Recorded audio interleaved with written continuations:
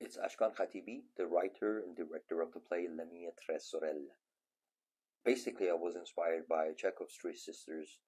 I also wrote a play based on a true story of three Iranian sisters who are struggling to live a normal life and at the same time uh, fight for the freedom of Iran. And as you may know, just being a woman in some countries like Iran is an everyday struggling you may put your life at a very serious risk by just not choosing to wear a hijab.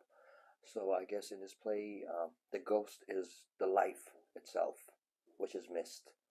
Freedom of speech, freedom of uh, sing, dance, love, kiss.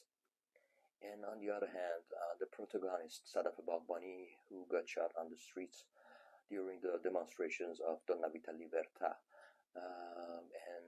she has more than 150 rubber bullets in her body.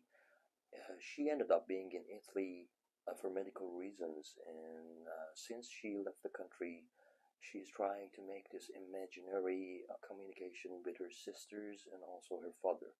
So, also, the father and the other two sisters are the ghosts, and the protagonist is somehow trying to fill up these empty shells uh, with this life which everybody is craving for.